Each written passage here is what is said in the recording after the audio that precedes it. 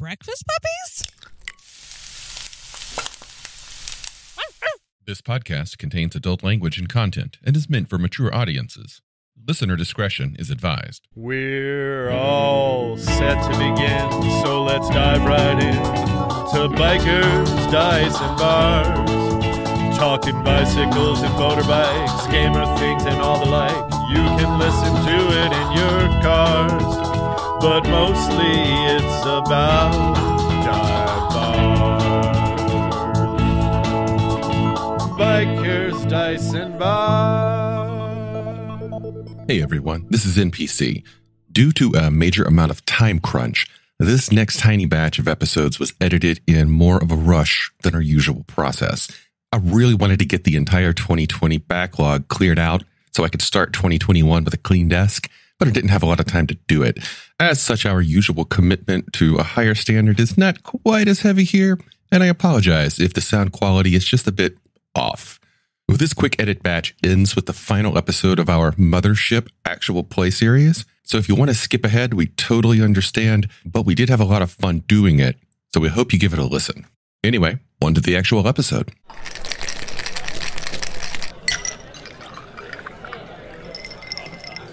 Hey, Xander, what are we drinking tonight? I have decided it would be a fun and good idea to go and do a bit of a gin tasting here on the air with my best friends. Aww. Uh, um, We got we, wait, we got more people coming.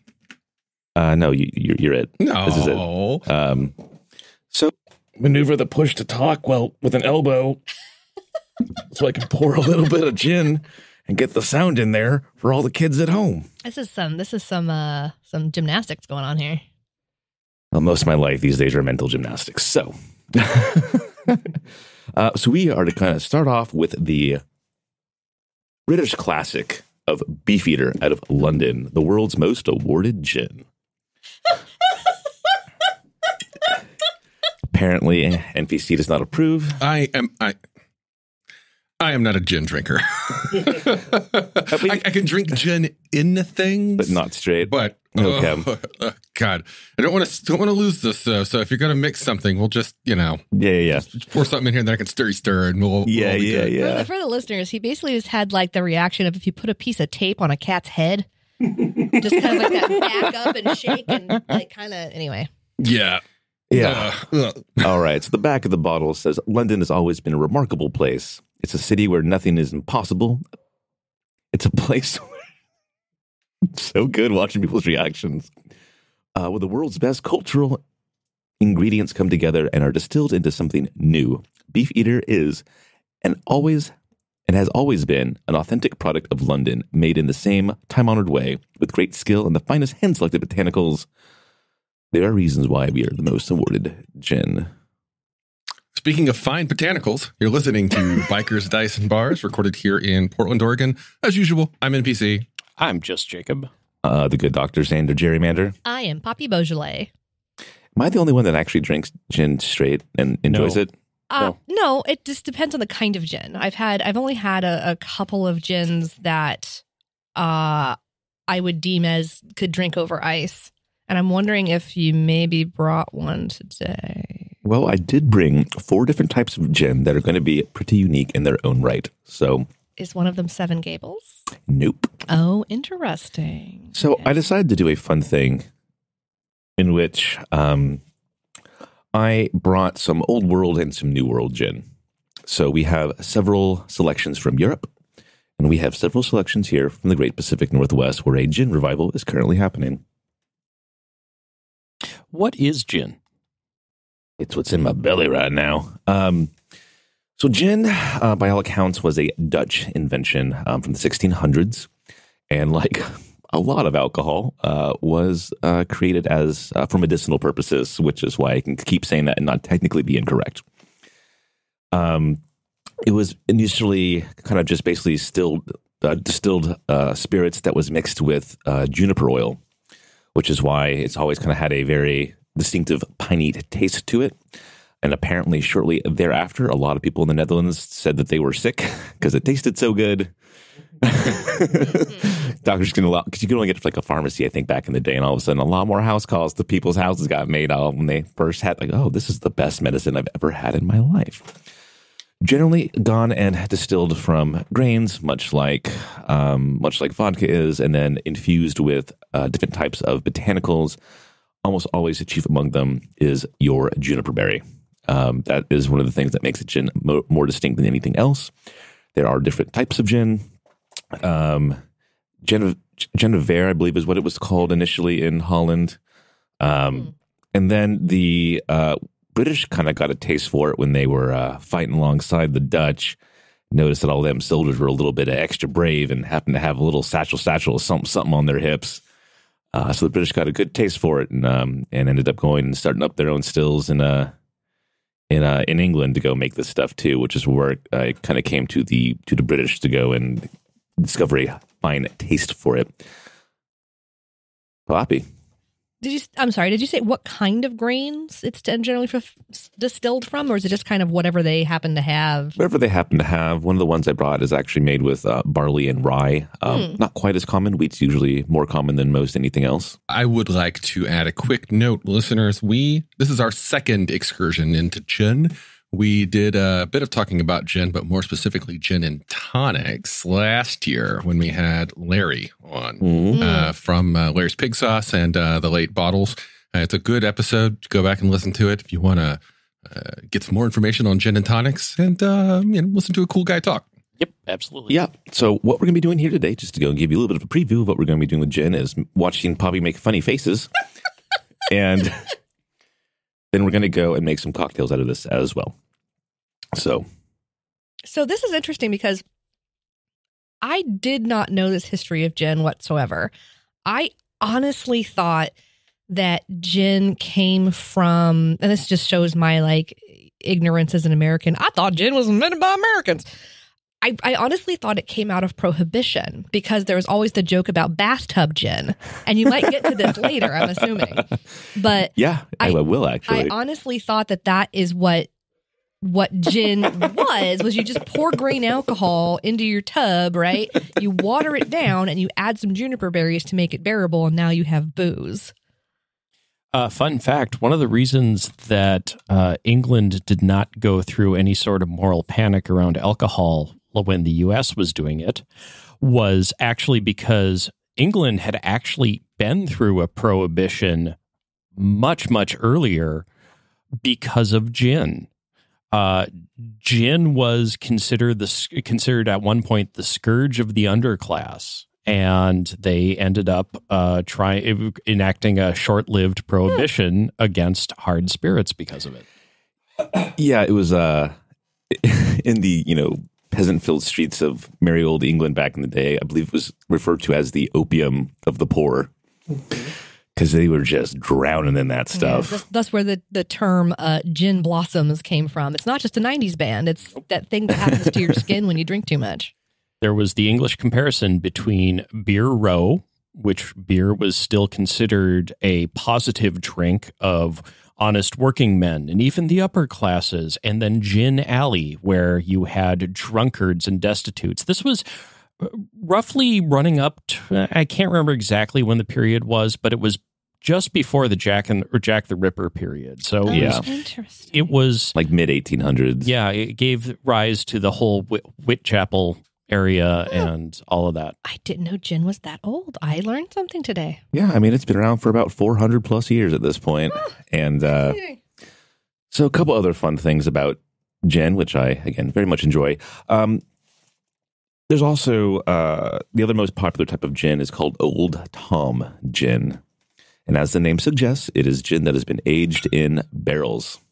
Oh, I thought you were about to say it was been aged in a man named Tom. Yep, they just pickle them up. oh man No, uh, They've been who- passing Tom down for Who do you think is in the barrel? Uh, so it actually has an interesting kind of like yellowish hue to it, and of course, uh, all things that have been aged in barrels, it does pick up the notes um, of the wood and whatnot.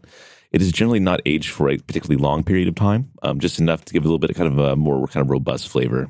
Um, and the NPC is refusing our next gen. So Uh, I, I'm not drinking anymore until I get a mix. but this is, yeah, no. Mm-mm. i'll drink for both of us Okay, so what is our next gin, Xander? Our next gin comes from Forest Grove, Yep. Oh. uh, distilled and bottled by Dogwood Distilling Mm-hmm. out of Forest Grove, Oregon. Here, uh, double distilled, and for those at home, generally speaking, this uh, if you want a smoother type of spirit, you will distill it over and over and over again. What that does is it removes the impurities from the liquor itself. I would also argue it removes the character, which is why when you see things like you know ten times distilled vodka, it is very smooth and tastes like nothing As vodka should. as vodka should. Now, double distilled means this is still going to have some character in it from the initial grains that it was distilled from. And, uh, you know, it's going to be real nice, real nice. Uh, established in 2010, handcrafted in small batches is all this very limited bottle tells me about it. Ooh. But it is locally made. It is a very reasonable price. And so if you want to go and shop local and support your local distillers, Union Gin is a fine one to go and obtain. I, I I can definitely see just doing a nice gin and tonic on a summer day with this. Just some very fizzy water up in my nose and some of this splashed in there. That's that's very nice. So this one is definitely a lot more botanical forward um, than the beefeater, which kind of just smacks you right in the face with juniper and doesn't let you go. Which again, I like drinking pine trees, but not everybody does. And I felt the beef Nope. the beef eater was very much alcohol forward. Yep. It was very much like here's some booze, smash. and that's a characteristic of dry gins, if I'm correct. They tend to be a little bit more alcohol juniper forward, not Yeah. as many other al- aromatics. Hence the like London dry style. Mm. Um, yeah, the, the the two main different types of, of gin, as uh, just Jacob is referring to, are again the London dry style or also American dry style, and there's also ones that would definitely be considered to be much more botanical forward. Now that we're talking about it and that I'm thinking about it, this reminds me of Malort, but less bitter. It feels like, uh, at, they're both very botanical forward whatevers, beverages, spirits. There we go. That's what I was looking for. Yeah. Malort, now that I was thinking, uh, I remember during our episode, I think we described it as being like an, uh, a gin that went wrong. That made some bad life choices. Gin that made down some a bad dark, life choices. dark path. I was Yeah. looking at you like you were insane because I'm like, this is nothing like Malort. I was also looking at him like he was insane because this is nothing like Malort. But I can, I don't I think this is like see- Malort. I would say that Malort is more like this, in that it's got a lot of the heavy botanicals that hit you, Mhm. and I don't know. Maybe maybe maybe To- they left Tom in the bin for too long. they made Malort. Mr. Tom Malort. the, the flavor profile of Malort that I described as pencil shavings Yeah. is definitely what is echoed to a certain extent, especially in dry gins. yes, this particular gin is made with 11 botanicals, which is kind of about the average for a lot of different types of gin. Um, I also bought some other gins that have a lot more. Um, and Shit. I also got one. Yeah, these are also all uh, 88% alcohol. Uh, sorry, 88 proof. 88% alcohol would kill us. These are all 88 proof. For the Smoking record, some 88% alcohol will not kill you. As someone who has drank more than a little white uh, white flash in his time. I was just going with it. I'm like, oh, 80%. Okay, cool. That's fine. I, I feel like you'd be flopping on the floor if I gave you something that was 80% alcohol or 160 proof. yeah, yeah. You're like, I don't know. little white lightning to get your day rolling. Oh, God. Ugh. Ugh. Yeah, so I also went and later on tonight, we're going to be making some Negronis. Oh. And to make the Negronis, I have bought, speaking of things that are actually really bitter, it literally says bitter on the bottle. Bitter, like really big. yeah, is uh, a, I think this is a 1960s bottle of Campari. It looks really old. yeah, yeah, it is. It looks. Yeah, it's see that that that bottle of Campari has seen some shit. I think. Ooh. This one's interesting. I have not I also have not had the ransom dry gin straight before. Yeah, this. What the actual fuck? What Campari? no, the this the gin. So this is Sorry, Jen, if you're listening. We just lost gin. we just lost no, no, no, no, no. I'm going to make it up for the both of you. This is J. Henry Ransom highly malted dry gin out of Sheridan, Oregon. Me. Drawing inspiration from Holland's renowned malt wine, Genevers, this is a pot distilled malty gin with intense botanical influences, the finest ingredients, meticulous attention to ferments, and obsessive distillation techniques combine to bring you to this unique American gin. Excellent, uh, excellent for cocktails such as the Collins, improved Holland gin, the Koopstok, or just for sipping. Ransom Spirits is an artisanal farm distillery dedicated to producing ultra premium spirits.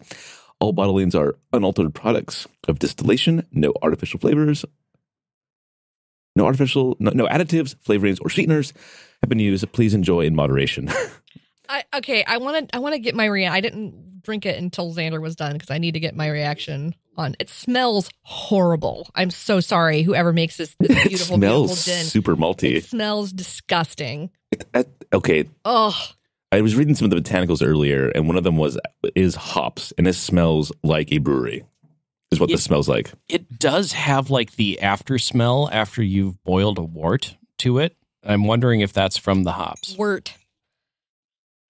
sorry. Okay, Fair enough. so this is barley, rye, corn, juniper, lemon, coriander, angelical root. Not sure what that is. It, it's it's for cats, jellicle cats. Okay, Maybe it is wort. caraway. Wait, that was Anise? name in uh, Cats. Yeah. Yeah. Yeah. Yeah. Oh, Jellicle cats. Yeah, yeah, okay, yeah. that just went right over my fucking Yeah, it head. took me a second. I was like, wait, I, I have actually read Old Possum's Book of Practical Cats. Uh, anise, Marion berries. Interesting. Orris root, hops. There it is. Uh, cardamom and orange. So this is a very drastically, drastically different gin. Um, better for cocktails, I would say, than sipping. It almost feels like they built a gin designed to be to survive mixers. Is I, I- Yeah. they talk about drinking it straight. This is not one that I'd be super No. excited to drink I thought straight. you were about to say survive the bomb fall. well, I mean, Yeah, there's this- a lot of pine trees up here. I mean, Xander and I in the aftermath can set up a distillery pretty easy. Oh, we sure could. Yeah, this one's not my favorite for sipping straight. I can definitely see it being good as they suggest in a Collins. I think that would be nice. Um, I can even see it coming through pretty strong with a with a very uh, high quality gin and tonic, or uh, with the tonic as well. Mhm. Um, for the cocktails I want to make later tonight, I'm not going to do it. Nope. because they're not going to complement uh, what's going on here. This, dear listeners, if you want to know what this gin tastes like, it tastes like cold McDonald's fries that have been in your car for a day. Yeah, I mean, again, it's it's it's very it's very malty. It's very hoppy. Um, I almost want to experiment with it a little bit in a beer cocktail, maybe. Ooh, interesting. Like, yeah, like I, I'm seeing like a good Mexican lager in this, and maybe some egg white. we will talk after the show. That sounds like something we can we can go and uh, yeah, yeah, yeah. go and uh, uh, figure out real quick. But yeah, I mean, c- just because it, it literally smells like a brewery. It smells like it's wild. Okay, I'm sorry. Point of order because I may have just said something incredibly stupid. Is it wort or wort? So I have heard it pronounced both ways. Okay. Uh, most of the brewers I hang out with call it wort, but I have no idea if that's the correct pronunciation. Okay. What is this thing that you were talking about? It grows on your thumb sometimes. No, Oh, that's a wart. oh sorry. Fucking English slash German. English is not a language. It's a mugger in an alley that rolls other languages and takes out useful participles.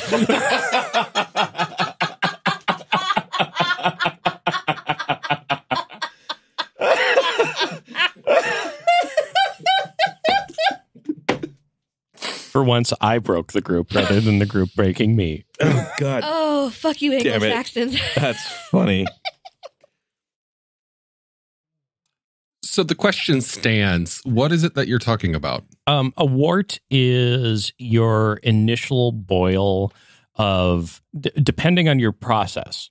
Um, but for beer and um, distilled spirits, you usually start by boiling a wort, which is you add good clean water to your pot. You boil it to start the extraction process of flavors and such.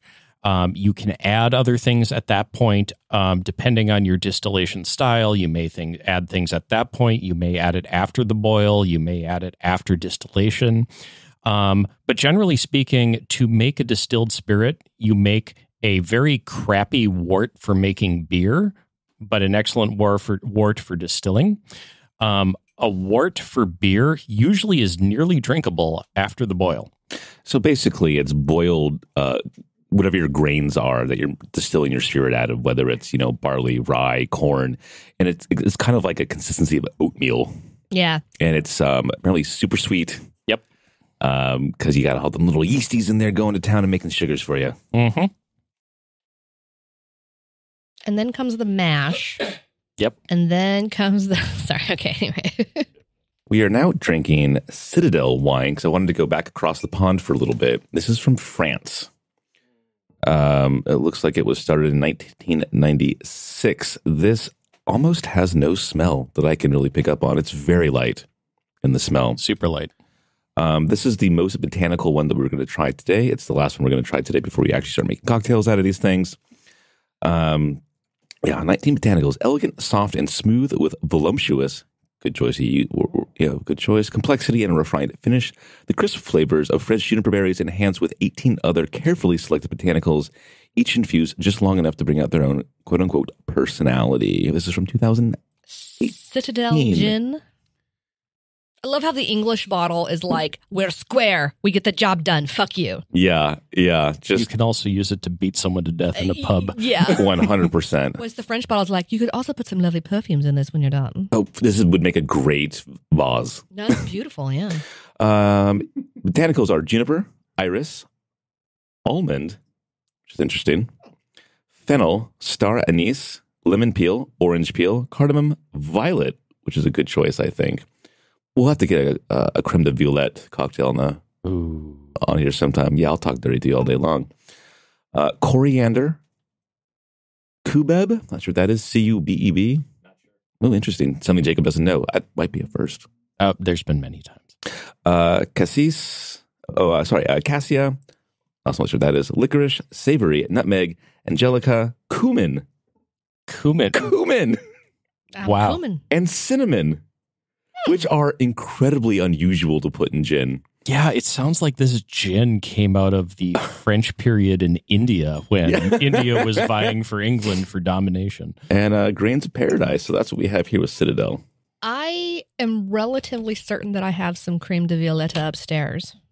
This is a super botanical forward. Mm-hmm. There are so many interesting flavors on my tongue right now. Yeah. Mm-hmm. And I, having read it out loud, I actually am taking a little bit of tingle of cumin at the end of the tongue, which is unusual. This is a gin I would probably go and probably not want to mix with anything. There's Yeah. too much complexity going on with this gin to have me want to go and fuck it up with anything else. This is a gin on the rocks on a nice summer day kind of sipping gin. Yeah, uh, maybe a splash of soda just to open Yeah. it up a little. Yeah, but I think once you have the rocks in there, that water will kind of go and open it up a little bit too. Maybe a splash of soda, but I honestly would not mix this with anything. This is a complex, delicious, multi-layered, multifaceted gin, and probably again just on its own, I think the best thing I've tried tonight. Uh, this I Yeah. think is the best so far. It it tastes. This is interesting in that it tastes better than it smells. Right? Because when I first, and I don't know if it was just the last one was just still haunting my glass or something, but I I feel like this one, like I was expecting it to be more cold McDonald's French fries, and it it actually this is lovely. Yeah, it's like drinking a uh, drinking like like a, like a like a uh, like a botanist shop or something. Yeah, yeah, yeah, yeah. where somehow cumin got cumin just blows my mind. Yeah, I've like The Cum- French using cumin in gin? yeah, it's it's that's where I go. It's like did did y'all remember when you were a colonial power suddenly or something? oh right, we have all these spices in storage. Where'd you get them all? Our colonial holdings. yeah, this I mm, yeah I could sip this on rocks all day long. yep, yep, yep, yep. Uh, thank you for finding this, Jacob.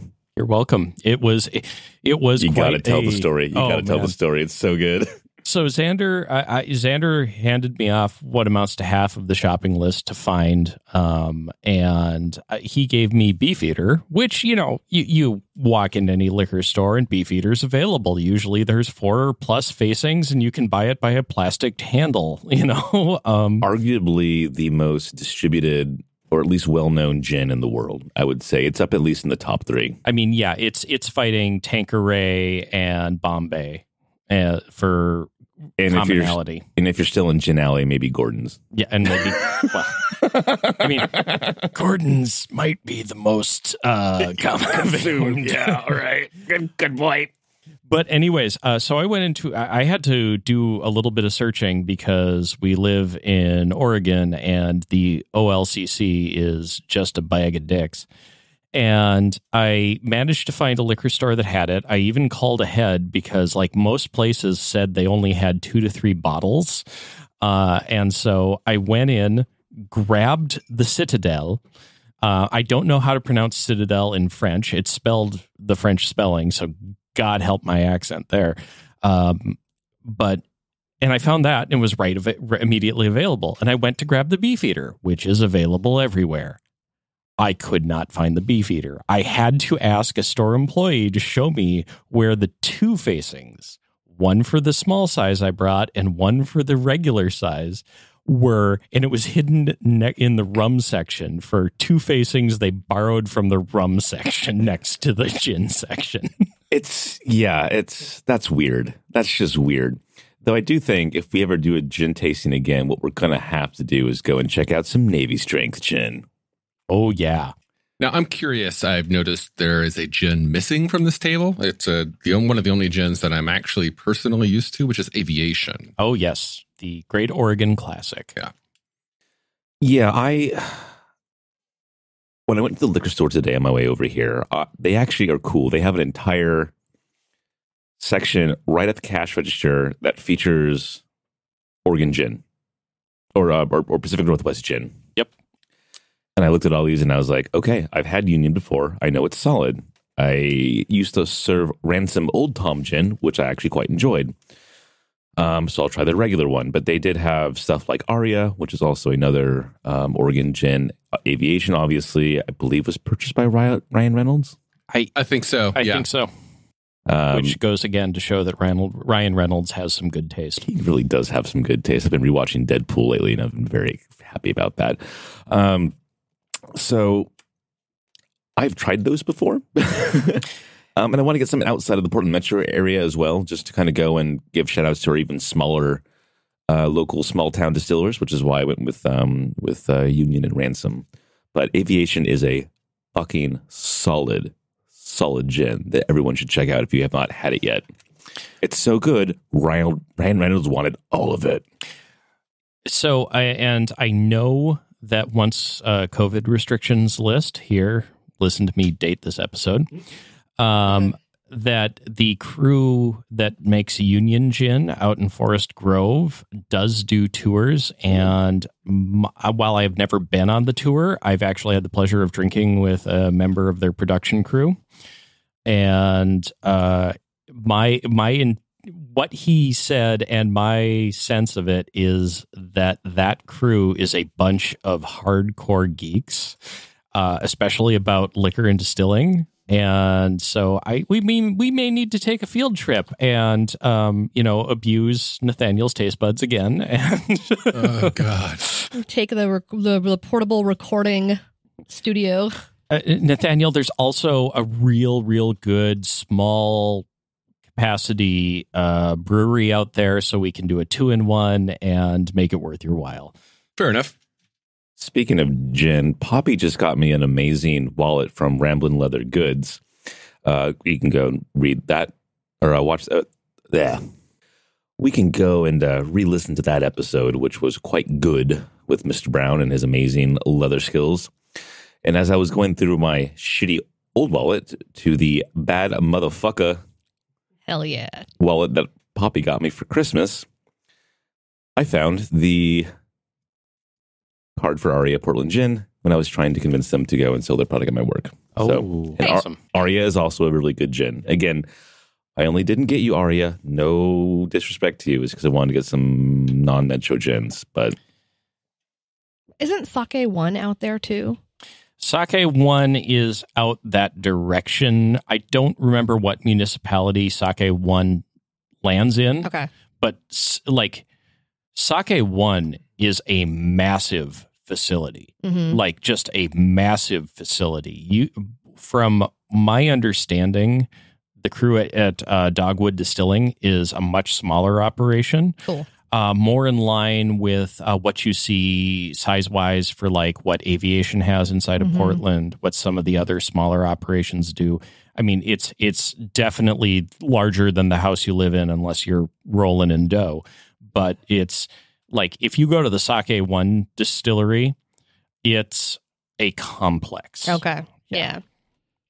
so now that we've had, sorry, now that most of us have tried, We need to save NPC here. yeah, Sandra. yeah, yeah. now that most of us have tried all these gins, um, I'm going to go and pour us the classic gin and tonic. So, which gin would you like in your G and T, Poppy, and why? I, you know, I will go with that last one. Um, The Citadelle. the Citadelle. Yeah, it had. I think it has the most flavor. Um, and but it is also has a flavor I enjoy. I liked it the best. That's all I'm gonna. Yeah.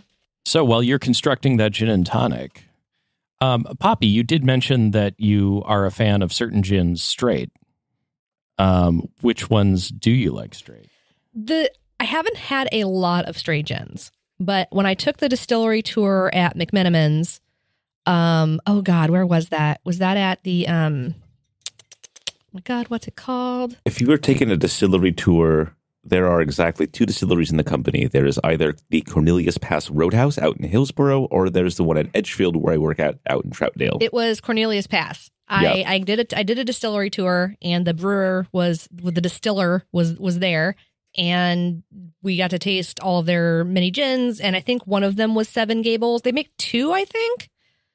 yeah, no, we make the Joe Pennies, and we make just it's just called Gables. Gables. and Gables is the much more botanical forward gin that we make, and they make that at Cornelius Pass Roadhouse. Yes. The Joe Pennies is an American dry style uh, gin we make at Edgefield, and Okay. they're and again, I almost brought a bottle of Joe Pennies, but Yeah, I think it was Gables. That was, I think, one of the first gins I've ever had that I was like, I could drink this just straight. It's delicious. the irony is I don't like it.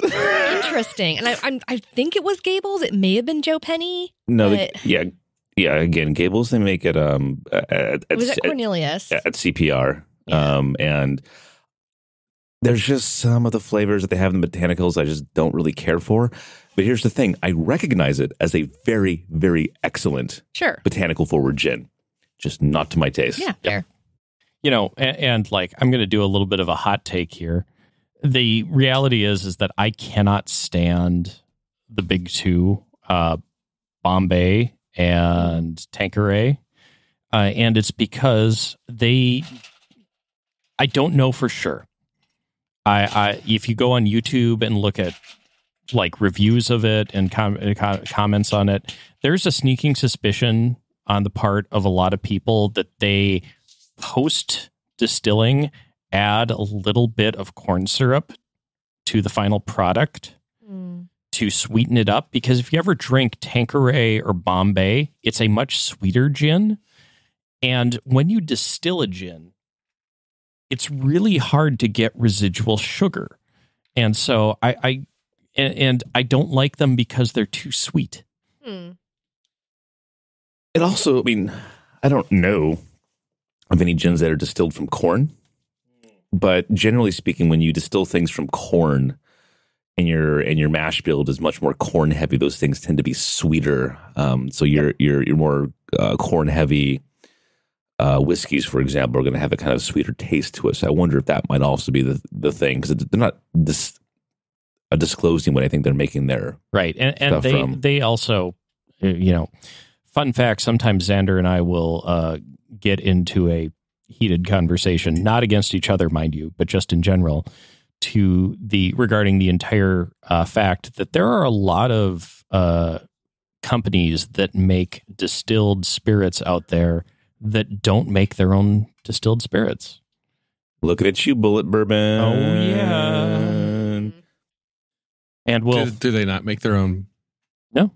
I didn't they, know that. They don't. They, No. bu- they buy their stock from a third party st- d- supplier Out of do, Indiana. and do aging and finishing. Um, and so they they take the raw post distilled mash or stock and finish it, and that's how they do it. Fascinating. So a fun thing too, if you're looking at a bottle, any bottle of any spirit, you know, sometimes it'll say just, you know, made by blah blah blah blah blah blah blah. What you want to look for is distilled and bottled by Yep. that company. Mm. Because that says that they actually have an actual distillery, unlike Bulleit Bourbon, which does not have an actual distillery.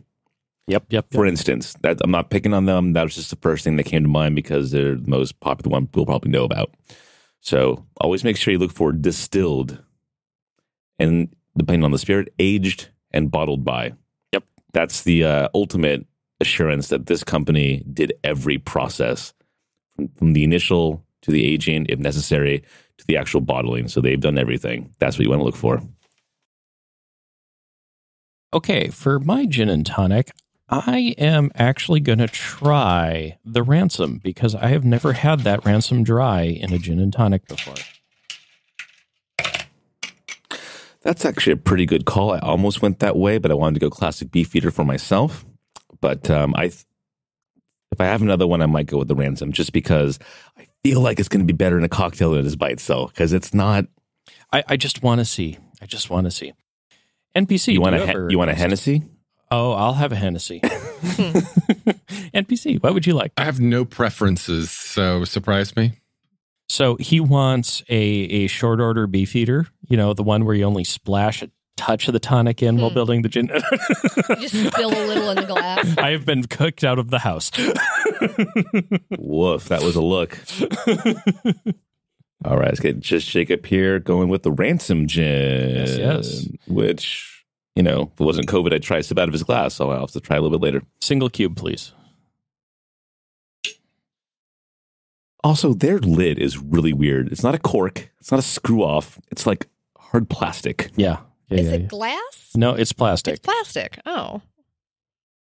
Yeah, when I first pulled this off, I thought I was breaking the bottle. I got a little nervous there for a yeah, second. no. When I when I unwrapped it for you and popped the top to pour Poppy her sample, it was like, did did something just break? Do we need to cancel this one? Yeah. Oh my! It just it just opened up this ransom bottle. It just smells like I'm in a brewery all over again. It's Yep. this is so. This is by far the most fragrant of the gins. hmm I'm gonna go cap this shit before it stinks up the whole room. I did not care for it. What are we using for tonic tonight, Xander? We are using because I love and care about you guys. We are using Fever Tree Premium Indian Tonic. Hmm. There are no artificial sweeteners in this. It is, has natural quinine, and I'll tell you a fun story about that shit in just a second. Um, so a lot of tonic waters has just too much shit in it. Mhm. This is just carbonated spring water, sugar, citric acid, natural flavorings, uh, flavorings including quinine. Mm, quinine. Quinine. Because, you know, it is winter and scurvy is a possibility. Right. But it's also the Pacific Northwest, so probably not malaria. Probably not malaria. More on that in just a second once I get NPC's cocktail. Here you go. So I part of the reason I embraced the gin idea for this session was because I'm actually you wanted to see the looks on Poppy and NPC's faces when they tried them? you know, I got all of that out of my system for the moment with Mad Dog. And I do say for the moment because my job is to terrorize this group with alcohol. Um, and I, but I'm actually a big fan of winter gin drinks, um, whether it be a gin and tonic or a Negroni. Gin is often thought of as a summer cocktail. And I, I kind of wanted to explore opening people's eyes to gin is okay to drink during the dark months. What am I drinking here, Xander? I gave you the Union gins that would make it so that each one of us is drinking a different type of gin in our gin and tonic. This isn't the worst thing ever. Um, so gin and tonic, the history is actually quite fascinating. Um, during the speaking of more history of gin, during the uh, conquest of India by the we'll call them Limeys, um, by the British. Uh, obviously, these folks were not used to the scourge that is malaria because they're you know obviously England's not very tropical. But you know when you send your clo- colonial imperialist armies all across the globe, you encounter different types of people and different types of diseases. Malaria being chief amongst them in a much more tropical area such as India. So quinine, which is a uh, derived from bark, uh, actually wards off malaria. And so they the British started making it into a very bitter tonic drink, and no one much cared to just drink it by itself. However, ever since the you know late 16 early 1700s british sailors marines and sail, uh, soldiers were given rations of gin Yep. so quite naturally with their need for also to get vitamin c in their system they figured you know this tonic water goes down a lot easier if you throw some fucking gin in there Mm-hmm. Mm. a little squeeze of lime and you'll have it just right. So the gin and tonic, much like the India Pale Ale or IPA, was born out of the imperial conquest of India by the British. So great drinks, bad history. Yep, yep, yep. Interesting fact as to why limes are the thing with gin and tonic, unless you are drinking one of the odd ones, like one of my favorites. Um, oh, uh, cucumber gin, um, Hennessy. Hennessy, uh, which is um, Hendrick's. It's Hendrick's. Sorry, Hendrick's is you're the right. sweet liquor. Hennessy- Hennessy, is we the said Hennessy earlier because I was trying Yep. to make a joke, but I was, yep. that's a fucking cognac. That's a fucking cognac. Yeah, Um, Hendrick's. Hendrick's, which is uh, made with cucumbers, tastes like cucumber, cucumbers, and served with a slice of cucumber. it literally says, do not serve lime with this. Serve it with a slice of cucumber. And it actually, to be honest, they're not lying. It kind of sucks. The reason why limes go with gin and tonics is that in many areas of the former British Empire, lime trees were easier to grow, and bec- limes actually store better on seagoing vessels than lemons do. Uh, they be- Interesting. Didn't be- know that. because of their higher acid count and so smaller overall dimensions, um, they dry up, but still have, uh, but don't mold as much as lemons do. Um, That is true. I mean, if you ever have cut into a, you know, dried up, looks like it shriveled as shit fucking lime, you can still squeeze some fucking juice out of that thing. It's weird. yeah, yeah, and it's like if you can, I mean, if you ever want to do this at home, I don't know why you'd want to intentionally leave a lime and a lemon out on the counter. The lemon will mold. The lime will merely turn brown and shrivel. Uh, under most circumstances. And while it's still brown and shriveling, um, it's still actually usable uh, for flavoring. And, uh, I have a couple. has some juice. I have a It's couple weird. Indian recipes that call for pre-shriveling your limes. I would be interested in hearing about those later. Um, so to go back to some more gin history, as Poppy was alluding to earlier, bathtub gin, which A is a great fucking speakeasy bar in Seattle. If you were ever up there, go to Bathtub Gin. It's hard to find. It's literally, it's literally down an alley, and I couldn't. There was no sign out front. And this homeless guy literally was stumbling out. Are you looking for the bar, man? It's down the alley, like in that door. It's unmarked. Thanks, dude. Here's a dollar. um, um, but bathtub gin, as Poppy was alluding to, was a thing that was made during Prohibition when the thing th- that would sell the quickest, easiest, fastest without being of any kind of great quality, but also wouldn't, you know, murder your taste buds was to distill a fuck ton of spirits and then just throw some fucking juniper berries in there and call it a day.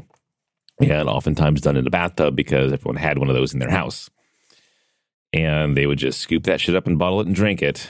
Um, water it down to an appropriate degree, and it wasn't supposed to be great, but it was better than the alternative a lot of the times, and you know, obviously better than nothing if you wanted to get your fix. Uh, a funny story about bathtub gin: my grandpa Bolt, when he graduated uh, from Purdue with his PhD in chemistry, stole a bunch of chemicals from the chem lab and made bathtub gin for all of his friends for a gra- for a graduation party. like you do. And if you had ever met this man, my grandpa Bull was the waspiest son of a bitch. Just stoic as fuck. You know, he had a sense of humor, but it was drier than a London dry. Hmm. And uh, I, I can't imagine him stealing anything. So him being in his twenties, crashing the fucking chem lab to go and make bathtub gin for everybody just tickles me to no end. This is quite refreshing. I would not think of I would not think of this as a wintertime drink, but I kind of I kind of I kind of get it with the the sort of the botanicals. It's kind of cozy, you know. Even though it's it's a chilled drink, it still has that kind of warm and fuzzy, you know. And then like scent of pine, you know, you know, reverts one to Christmas time and stuff like that. Like Well, you- kind of get it, yeah. You also chose the one that had the 19 botanicals as opposed to like the 11 or the 8 in the other one. So you chose Yeah. the most like complex. Here's a little bit of everything being thrown at you, Citadelle gin. Yeah, yeah, so yeah, yeah. that's probably why you're getting that. But um, also, I mean, again, I feel like a G&T is it's nice because it's universal, and it's nice because you can get them anywhere and everywhere. However, the vast majorities of, of bars you will go to will have shitty tonic. Shit. There's even a reference in the Hitchhiker's Guide to the Galaxy about the gin and tonic being the most universally, interdimensionally known beverage. Every culture has one, and it's usually something like the gin and tonics or the gin and tanics or, or whatever. Yeah, it's just like yeah. 10 different spellings for it. yeah. but e- it's all the same thing. Yeah, no, that's a great reference point too. And it is, I mean, again, again, when you're the British Empire and you basically had your boots on the ground everywhere, you're going to spread that drink. So let's say you walk into a bar sometime months and years from now when we can do that again. But you walk into a bar and you have a hankering for a gin and tonic. And you don't want the shitty tonic and you don't want the shitty gin. What are our chances of having what are our a what are our chances of having good gin assuming it's a stocked bar and it's not like you know oh we mostly do beer and we've got like a really old bottle of Jim Beam and buying the bar you know fully stocked bar. Maybe they have some higher shelf stuff. But you're like, I don't want I don't want the fucking, you know, McCormick's and I don't want no one wants I, McCormick's. nobody wants I don't want and I don't want the shitty tonic. Like what what do you say? How do you order that drink? I would say that the vast majority of bars, unfortunately, are just going to have shitty tonic. Mm, you have to go to a much uh, higher quality, you know, upper end cocktail bar if you want to get um, Q tonic or Fever Tree or something like that. Uh, I am sure they sell Fever Tree uh, on a soda gun because my work actually uses Fever Tree ginger beer on the soda gun. Hmm. So they must make the tonic somewhere. But yeah, it is generally going to be a hard thing to find anything other than like Schweppes as far as yeah. Schweppes, Canada Dry. yeah. However, most bars will at least have a decent gin. Generally, that decent gin is going to be Beefeater. Um, most of them will have Tanqueray or Bombay Dry or Bombay Sapphire. Um, more often than not, Bombay Sapphire over Bombay Dry, and those are all decent choices. Um, I've heard Monopolowa makes a decent gin. I've not had it before. I haven't had it either. I know they make it. but- I'm sure the price point's good. I'm sure price- I mean, it's not like Nikolai Vodka is making a gin. Inside joke for our bartender and barfly fans out there. Um, yeah, I mean, I've I've come across so few bars that are decently stocked. They're not going to have at least like three or four um, decent to good uh, uh, uh, gin uh, selections, and of course, if you're always feeling fancy, there's Hendrick's. So, um, my workaround on that, because it is a constant problem, I will also say that in addition to high end bars, there's actually hidden gem bars, um, especially in the Pacific North Northwest, where there are bars that are not exactly high end bars, but they'll actually have Fever Tree. Um, I'm not going to give away all of my secret favorites, but we've named this one on the air before, and I'll do it again. Go to Patreon if you want these answers. Um, I'll, I'll give this one for free. Uh, Vintage in um Oh, in um, um, uh, uh, I don't remember the neighborhood. Uh, Montavilla. Montavilla. Thank, you. oh, Um, that place is so good. It is so good. It is so not a high end bar. But when the first time I walked in there and the special of the day was a Chicago Fizz, I was like, "You have my attention, sir." And it's tiny and impossible to get into. but like they have Fever Tree you know, or other high end tonics. So if you walk into a bar though and you need a workaround, the workaround I've developed for getting a decent quality gin and tonic is I see what they have. Um, I look for something like Aviation um, or uh, another of the really decent gins, Union, um, Aria, Aria. Uh, there's a couple other bigger name brands out there as well. Dancing Dog. Dancing Dog, um, that are decent. And then I ask the bartender for a gin and tonic, but two thirds the amount of of tonic that they'd normally use, and make up Mm. the difference with soda. However, tip your bartender extra because it's a bit of a pain in the ass.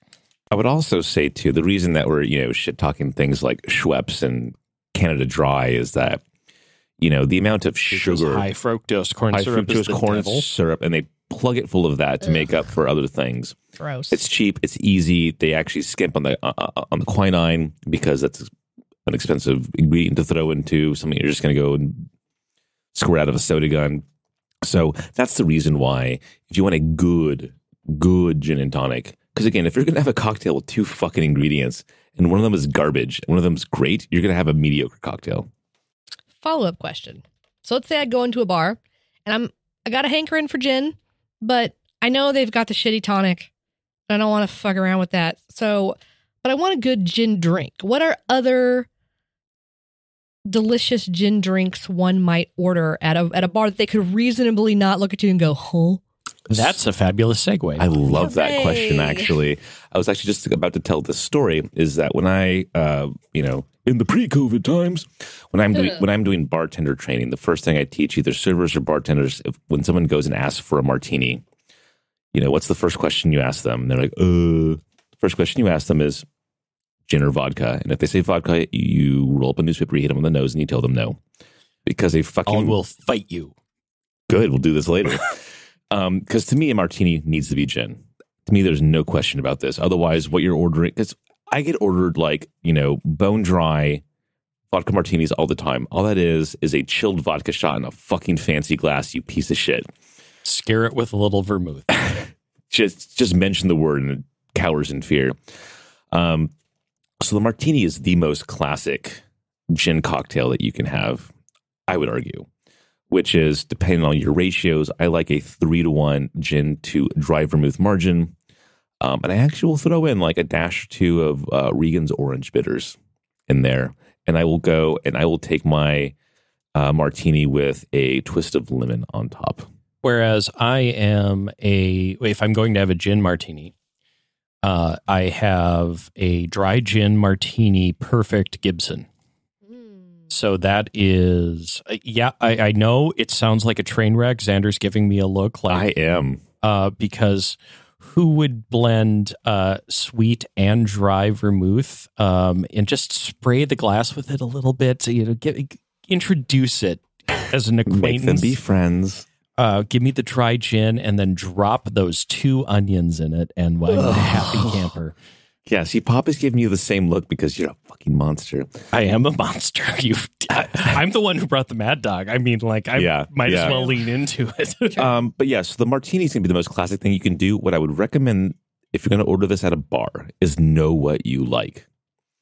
A typical martini at most bars is going to come with like a uh, a rinse of dry vermouth. They put like maybe like a quarter ounce. They rinse it from the glass. They dump it out, and then they stir your gin and they pour it into your fancy uh, martini glass.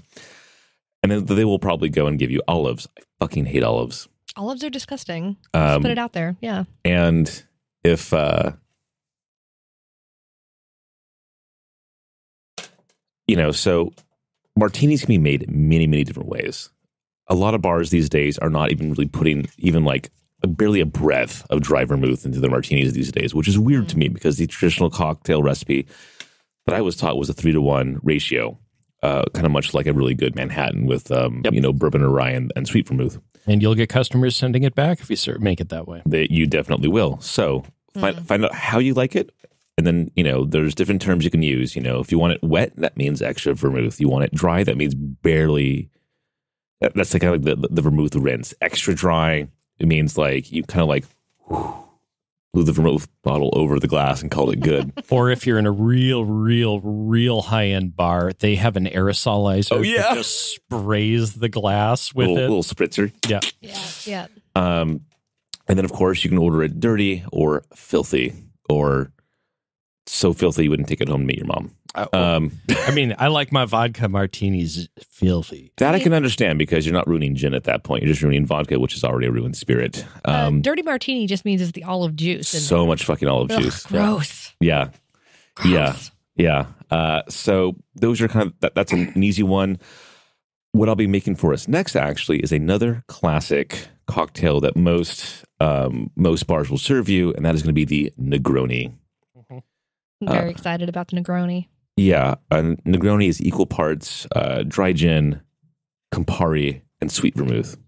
You had also asked about some other beverages. I think we also missed the Collins and the Gimlet, which are ones that I frequently hear people order. So let's uh, cover the Collins and the Gimlet Real and quick. then close it out. Again, another classic one you can always order um, is Collins, which is such a famous cocktail. It has a glass literally named after the cocktail to have it served in. Yep. Collins glass, uh, roughly eight to 12 ounces, depending on which bar you're in. I'm a big fan of the eight ounce glass. It's tall, it's thin, it's straight up and down.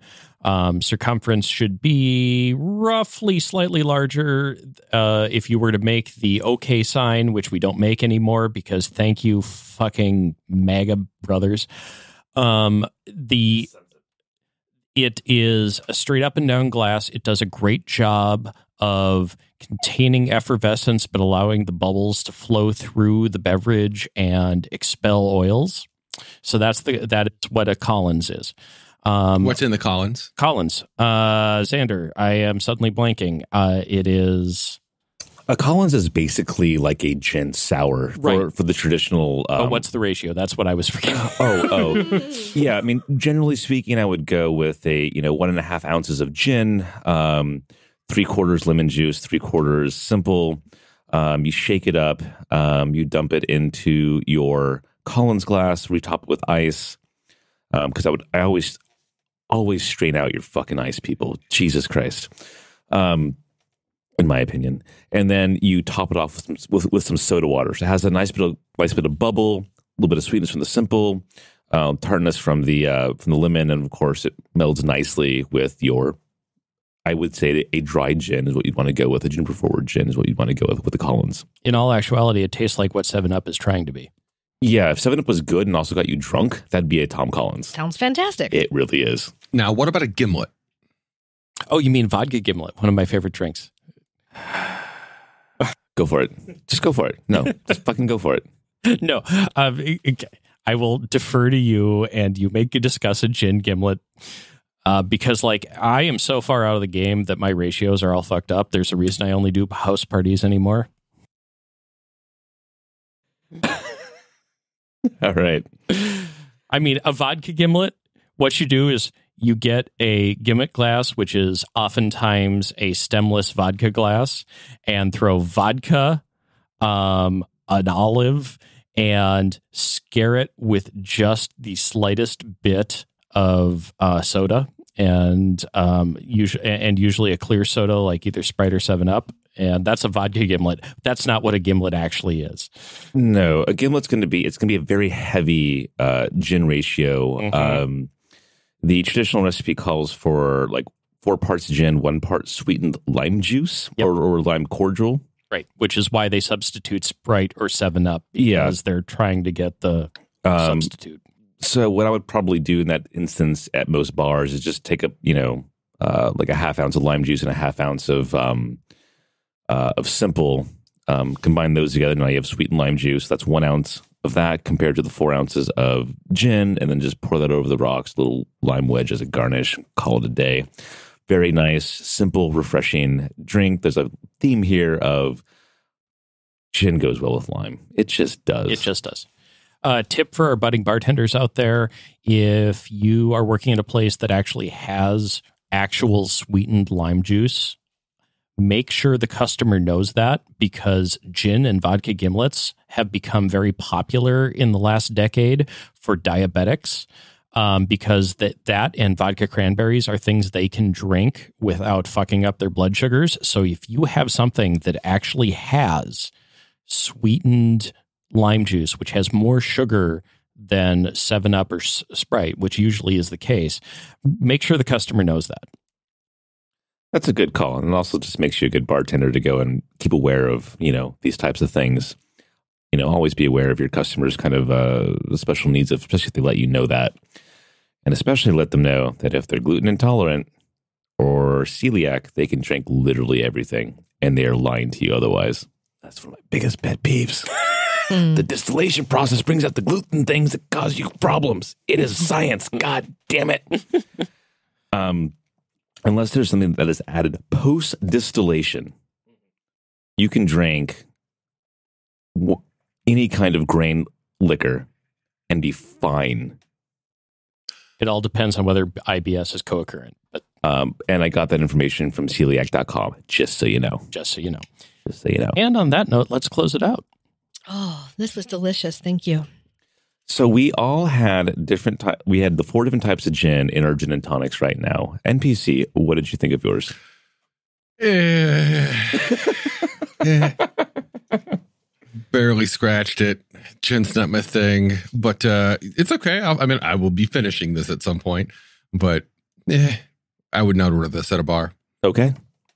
Uh, you were drinking the Union gin, and Poppy, you were drinking the Citadelle. Citadelle.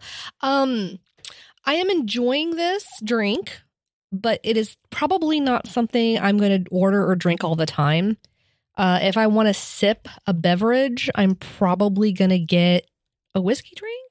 Sure. Or just you know, to be fair, Yeah. Again, we have two very different types of uh, Um, other cocktails coming up later. Yeah, but I, I am I I I like this, but it's not.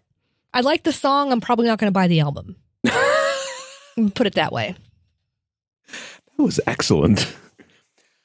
Jacob, you were drinking the Ransom gin and tonic. Um, so in all honesty, the ransom as a gin and tonic is not a great build. Okay. Um, it's it's this is not where I see it shining. It's it's okay. I I, I wouldn't send it back if that was what they served me. Um, but it's it does not highlight either the tonic nor the gin. Um, Are they fighting? it's not that they're fighting. It's like they're quietly sitting in a room, not looking at each other with this layer of hops floating over the top. It's a very hoppy gin. It is a very hot. It's weird. Now, I am a gin fan. I am a huge gin fan. Uh, I will drink gin straight. I will. Uh, one of my favorite drinks, which I will bring up to redeem myself, is a South African uh, martini. oh, I thought you were going to go for the suffering bastard, but go on. No, no, uh, South African martini. Uh, it is a martini with um, a dry vermouth and a peppadew rather than um, anything else. What's a peppadew? A peppadew? A peppadew is a fruit. Uh, it, it's a relative of the pepper. It's um, Ooh, it's it, I'm listening. no, no, it, it's not spicy at all, but it's it, it's it's a distant relative of the pepper plant. But Gotcha. um, a, a gin martini with that is awesome, and I will drink Hendrick's all goddamn day. Yeah, I was going to buy it was either buy a bottle of something like Hendrick's or buy two bottles of gin otherwise, because Hendrick's is a little bit pricey. So let's get a review on yours. I went with the classic Beefeater gin and tonic, and I loved it.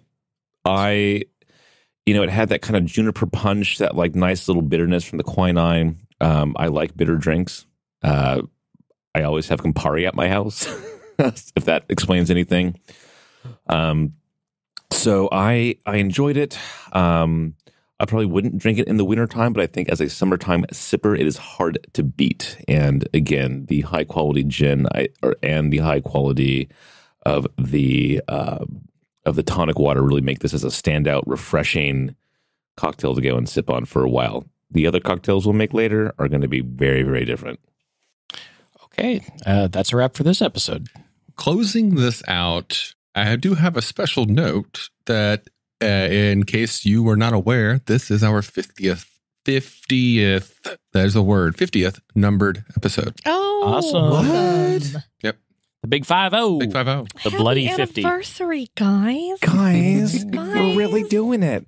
What is We're really 50? doing That's it. the gold anniversary. Golden. Golden, yeah. That's still Silver, 50 I, years, silver, I think, though. is 25. Silver Yes. 25. Gold is What's 50, I think. pizza? What's the pizza anniversary? Because I want that one. 51. Okay. All right. Good to know. And on that note, we're going to be o- ordering pizza.